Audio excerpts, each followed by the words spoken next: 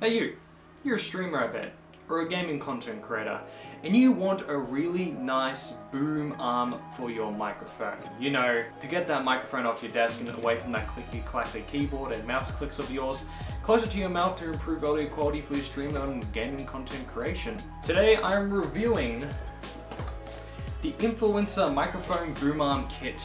And is it even worth picking up a microphone that's pretty much at the bottom of the barrel and how good the quality is it even? Well, that's what we're here to find out today. Ooh.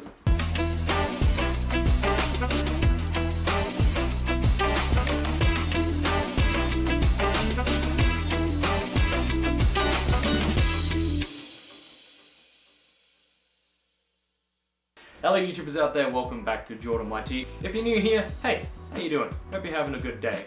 Uh, you don't mind uh, hitting that up. I don't, I don't, I don't usually do this, but apparently like it's the thing that everyone does now and all the rest of it. So I mean, if you want, it's totally up to you. If you want to hit that subscribe button, maybe even that, that bell notification. Although I, I won't blame you if you don't need it because I hate notifications myself. And if you like the video, give it a thumbs up. That'd be pretty sick of you. Or as you streamers out there, pretty pog. this right here is the microphone boom arm kit with pop filter by a company called Influencer. Now, I'm 100% certain they didn't make this product. They're pretty much one of those companies that kind of like buy cheap products online from more, more third-party manufacturers and then slap their own labels on, which hey, honestly, I don't really mind that business practice, but at the end of the day, I really don't mind even if they slap their own labels onto it. You know, pretty much, you know, all tech companies do that with like USB flash drives and like little bags and such. So what's the difference between a boom arm? And, you know, at the end of the day, all I really care about is that if it works. So, does this thing work? Of course it does. It holds up the microphone. What else do you want me to say? You want to know if this cheap microphone boom arm is really worth your penny. Now, I bet you're a streamer or gaming content creator that, you know, want to get your microphone off desk because, you know, time sided. It is getting a bit annoying hearing your Cherry MX Blues click away because, oh god.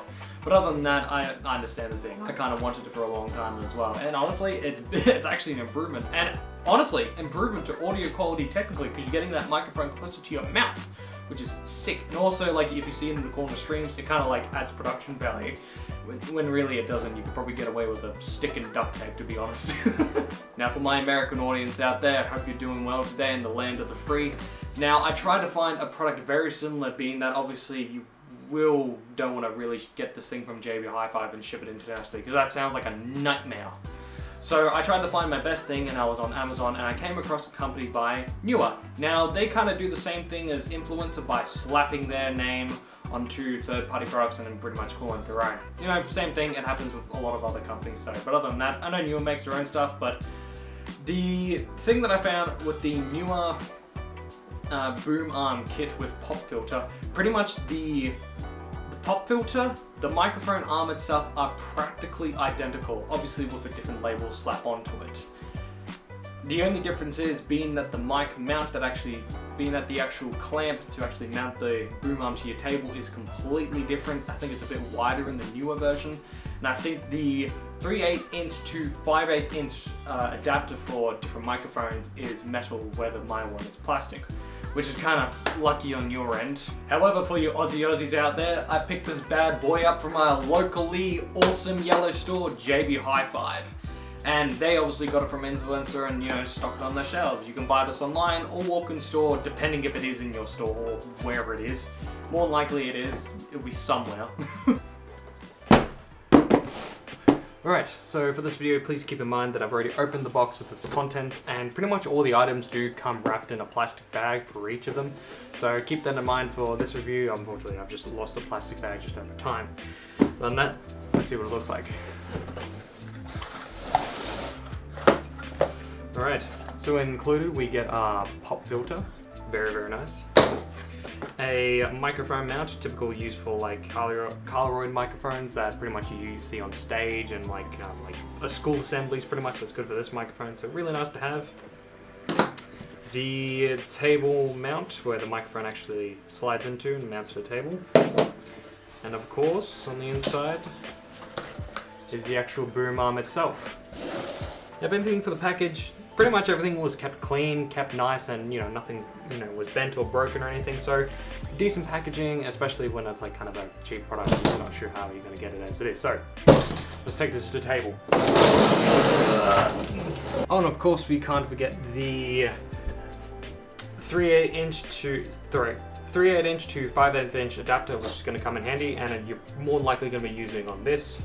So then it can actually now, this came in the package attached already as is into there, so all you gotta do is just unscrew it from there and then screw it into your microphone if it's a 5 8 inch compatible. So yeah, you got that. But yeah, this is made out of plastic, which is probably my only beef, and like you only get really one of these. Kind of wish it was metal, but eh, get what you paid for. Now, before we get into the mounting stage, I would just like to add, I've added in my own little furniture pad just to kind of put something between the actual metal bolt and the desk. That does not come included with the package. Then also on the actual boom arm, I put on these tiny little like cable management ties just so I can route my um, microphone cable a lot more easier. Doesn't come included, just letting you know those are pretty much the only two mods that I've done. But uh, in any case, it's still really easy just to run your cable around, so keep that in mind when you're watching this review. Now assembling is pretty straightforward, being taking the desk mount, attaching it to your desk, placing the boom arm in the mount and tightening the knob, then attaching your microphone with the included adapter onto the thread. This thread on the arm is a 3 8 inch, so if you have a microphone that's 5 8, it can be changed with the included adapter. Overall build quality is very solid. The arm and clamp is made out of aluminum, so it's not going to break anytime soon. Springs and bolts are made out of aluminum too, keeping everything nice and tight. And the only two plastic pieces I see are the 3 8 inch and 5 8 inch on my variant from JB Hi-Fi, and two of the plastic tightening knobs, either on the 3 8 inch uh, thread or on the middle of the scissor arm being you need to tighten. Being that if you need to tighten, if you like a certain position, and want to keep it that way for long streaming or recording sessions, it's easy to fold away and rotate out of the way so it won't clutter your desk. It's rigid enough and strong enough to hold a payload of 1.5 kilos or 3.3 pounds. And I'm actually loving this microphone. You know, it's doing as what it's advertised and the build quality isn't really like terrible or anything. It's actually, you know, very well constructed. Yes, it's cheap aluminum, but it's cheap aluminum that's not gonna hold up too much and keep its strength over time. Now, being that it keeps the microphone up and off the desk, away from my clickety-clackety keyboard, and closer to my mouth where I can actually have better audio quality in streaming and recording. I'm extremely happy with the product. I picked it up at the time of the deal, which was about 25, this is, uh, this is, uh, fair dinkum dollars, by the way, about 25 AUD. Now I believe in USD it would be roughly $17 at that price. So the one I'm linking for you Americans, which is the Neewer variant, I believe in Australia it's about $39.99, about 40 bucks for me. And I believe for you that would probably be about 29.66 USD, I believe. So pretty much it kind of evens out. I think although you're probably getting a better variant being that the actual base clamp that goes to your desk is a bit wider in surface area, and the actual 3 8 inch to 5 8 inch uh, thread adapter is actually metal, being mine plastic. So I think you're getting a better deal, you rapscallions. Now, not every product is perfect, depending on your opinion and all the rest of it, but yeah, not every product is perfect, and of course I found some of the flaws. Now, the actual springs on the boom arm itself, I found that the bottom left-hand side one tend to make this sprung noise.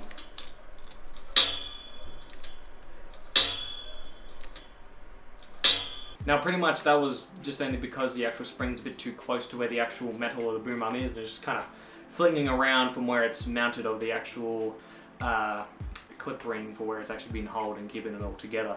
So other than that, it's just kind of a one-time thing where you're just opening it, where you're just opening it and closing it, so it's not really too much of a big deal. A little bit annoying that you hear this spung every time. so if you're streaming, that's all. And another thing I really kind of didn't really like about this product is the actual pop filter. I definitely believe that you could probably put a sock on it on your microphone and you get away with it because the sock kind of does the same thing as a pop filter.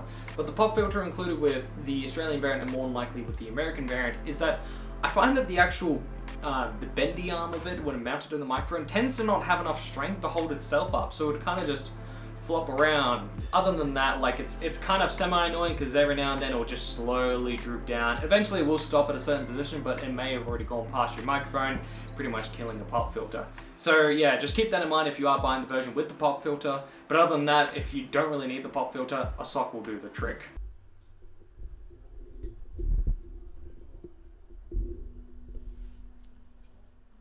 Hey. How you doing? Alright, this is a very completely unscientific test of this pop filter being that number one. It's, you know, kind of dependent on your microphone, its gain originally, if it's going into like an interface or if it's straight into your PC, if you've got any filters applied. At the moment, I usually would have filters applied, but probably the best way to test this out and the sensitivity and how well it's doing because plosives are very like, they can be ignored, but like all the rest of it. yeah, because like you're really kind of like listening for it. So uh, I've turned off my um, uh, fil uh, filters for this, so probably get the most rawest thing example. And microphone I'm using is the Samson Meteor USB mic. So here we go. So we need some plosives. Plosive, well that's a plosive as it is. Plosive, plosive. Peter Piper picked a pick of pickled pepper. Wait, isn't there more to that rhyme? Bruh, I've been scammed. Why? Pop, pop, popsicle. Ice, ice, icicle. Testing, testing. One, two, one, two. Explosive. Implosive. Pa, pa, pa, pa. Pop. Ploop. Pomegranate. Huh? Hi, hi guys. Welcome to my ASMR. I, I know things are very quiet as it is, and um, uh, we'll just keep things nice and quiet when I'm reading out the pop filter. All right. Um, now you be the judge of that. Now, for reference, uh, Peter Piper pecked a peck of pickled pepper. Pop, pop, popsicle. Ice, ice, icicle. Testing, testing. One, two, one, two. Explosive. Implosive. Just plosive. We're not going to do that.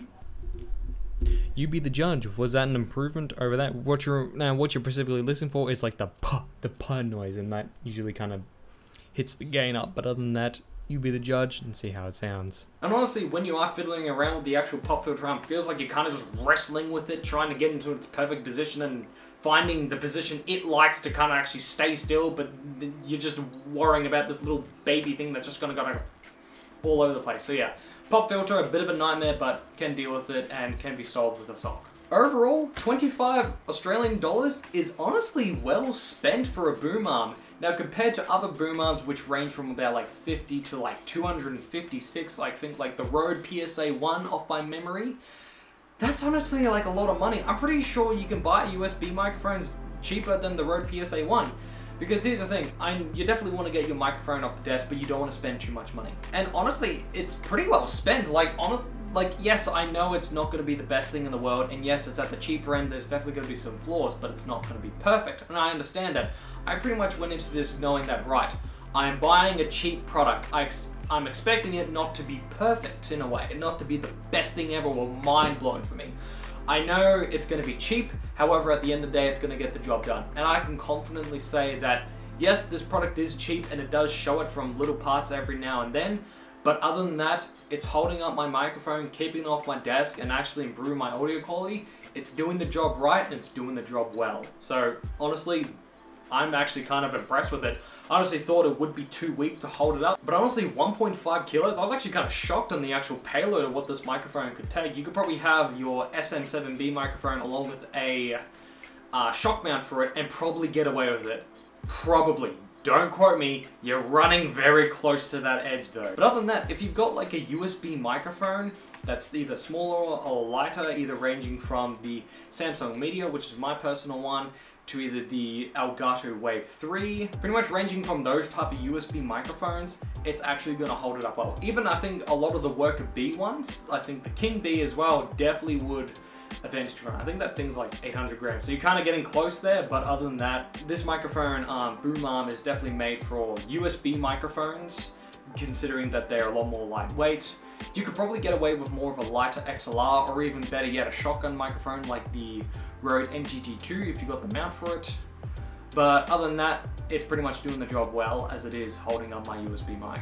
Alright, that's going to do it for me for this video. I 100% definitely recommend this. If you're in the market for a boom arm, but you don't want to spend like over 50 bucks, let's say, this is honestly worth it. So for you Australians out there, pick up the influencer one. You Americans out there, uh, check the Amazon links that I've linked in the description. From what I see, the boom arm is practically identical. The only difference being is the actual mount uh, that clips to your desk and the 5 8 and the 3 8 inch to the 5 8 inch. Oh, that's a mouthful. But yeah, that's the only two differences. If anything, they're practically the same, just with different brands. So please keep that in mind for anyone buying from the Amazon links. Not affiliated, just I just found them and they're the closest things I could find. So, but other than that, at the end of the day, is it actually worth picking up this bottom of the barrel fish feeder? And when I fished it out, God, that sounds so cheesy, kill me. And honestly, I didn't really have too many expectations. I thought this thing was actually gonna break weight. To be honest, I actually, I even thought this thing was actually plastic. I 100, 100% do recommend. Did that light seriously turn off? It did so. But yeah, other than that, so if you wanna check out the links in the description, they'll be there if you wanna buy it. So yeah, if you are a streaming or content creator that wanting to get your microphone off your desk, and pretty much onto a boom arm, but you don't want to dive in to like really expensive boom arms. You kind of want to get something cheap and that does the job well. I 100% recommend this. It's pretty great and does what you really needed to do. So yeah, pretty happy about this product. But anyway, that's going to do it for me. So, thank you all so much for watching. If you like this video, please click the links and annotations to videos that I've done. Like, comment, and subscribe today. As always, I'll see you next video. Bye-bye, or see you later.